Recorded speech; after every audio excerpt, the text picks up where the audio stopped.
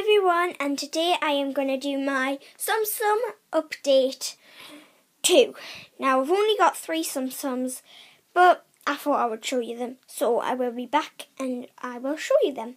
These are my three Tsum So now I have got Tigger, Piglet and Chip I think? Chip I don't know.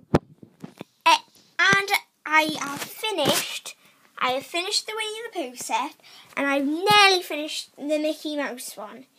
I, I'm just missing Dale, but I don't think that I want to get Dale. Because there's no point in getting, like, they're nearly the same Chip and Dale, except for different colours. I've also... Oh, I was missing Mickey Mouse of that. I've also, like, got these ones, and I'm gonna got the frozen ones. that's all I really that's all I really want to show you. Bye guys.